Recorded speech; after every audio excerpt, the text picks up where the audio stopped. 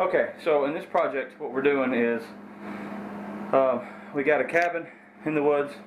We've got um, no running water, but we want to be able to have the sink work like a regular sink. Now, I got a bunch of parts together.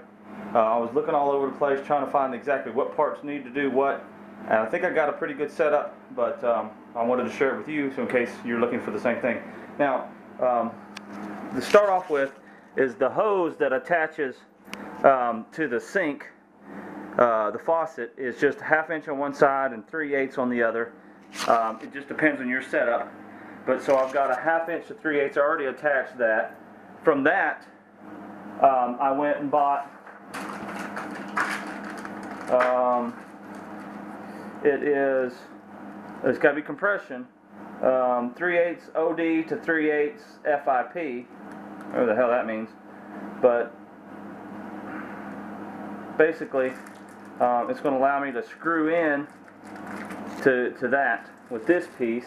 I don't need all those pieces, but screw into that piece, and then the inside of this will screw to this, and then that will attach to my rubber hose, 3 8 diameter, which will attach to a barb strainer filter that's already got the little barb sticking out, which will attach to this little SeaFlo water pump.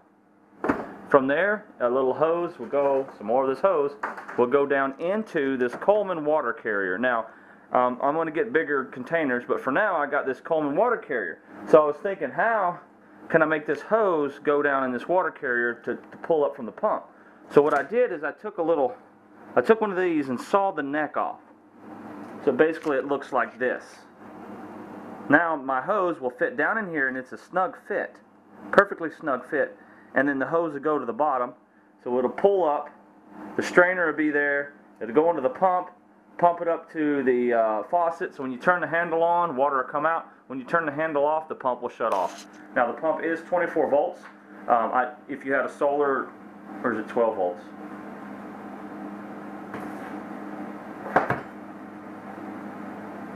I got a 12 volt model. So if you had a solar 12 volt system, um, there's the different model numbers. Um, then you know you could just hook it up to that. I don't, so I had to get a little 12 volt power supply, 5 amp, uh, and I'll list all the part numbers and links to where I bought this stuff. But um, 12 volts, it's 35 pounds of pressure. So basically, when you turn the faucet off, the pressure will build up, of course, and then it'll just shut the pump off. So let's get started. Okay. Here's the pump. Now, obviously you can wire this in with a switch. I don't have a switch, but I'll get one eventually, something, I don't know, we'll figure it out. But anyway, here's the positive, negative.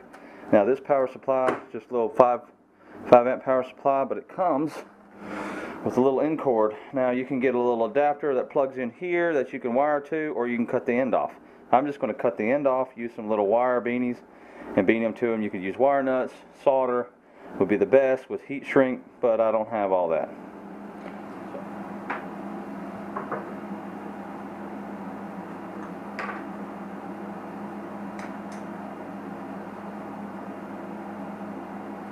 Blue and red.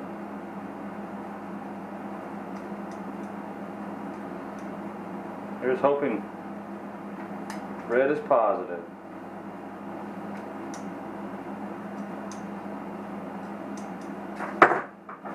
Should get a meter and check it. But I'm gonna live on the wild side. Just do it. If it blows up, I'll buy another one.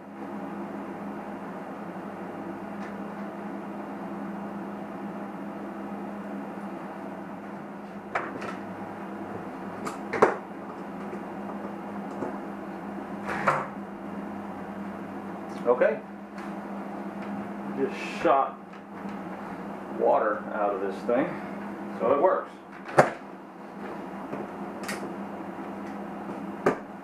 I'm guessing that's the water that's in it from start. There's supposed to be a little arrow on here to tell you which way is in and out. There's the arrow on the bottom, so output is here.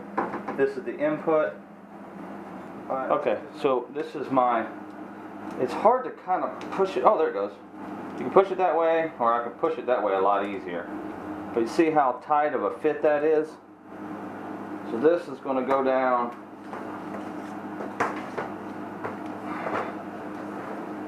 inside my water carrier.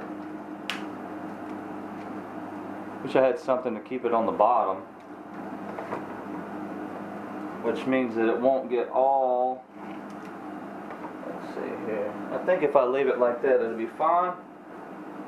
I'm guessing we want an inline filter so we don't, um, you know, suck up anything into the pump and kill it. Need a clamp on this side. The the uh, the one goes into the bottom. It's fine.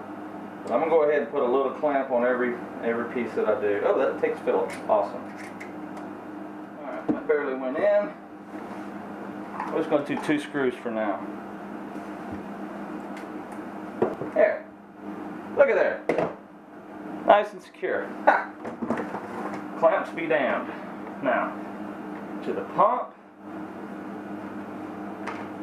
That's the outbound, so this is the inbound.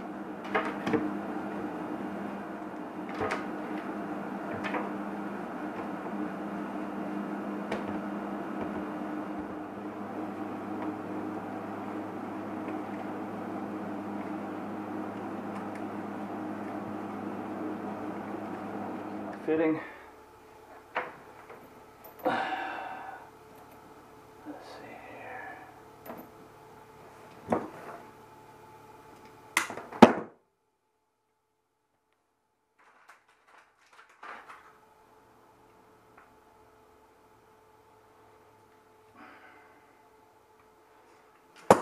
Okay.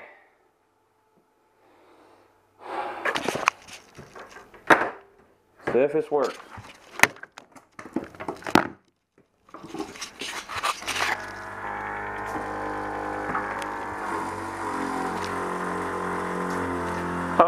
Oh snap.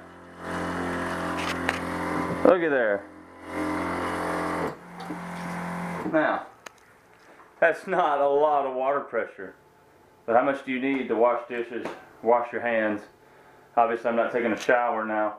I heard that you can take the same pump and rig it up for a shower, and I might do that for an outside shower. Um, that'd be pretty cool. Have you a container outside that gets heated? Um, maybe get me a, a, a one of these five gallon, or get me a 15 gallon. A five gallon will be fine. Uh, I think this thing pump runs at um,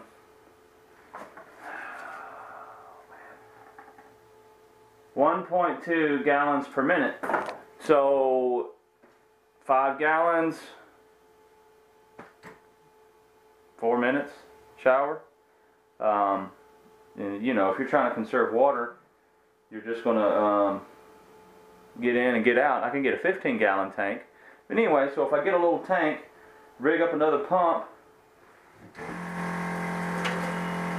shower head. So I might do that in another project. But um, what I've got to do now is secure my wires, run them to an outlet. Of course, I'm not going to use this outlet. I've got an outlet back over here. So I'll run that to an outlet. And um, I might get a little clamp to kind of hold this right. Anyway, thanks for watching.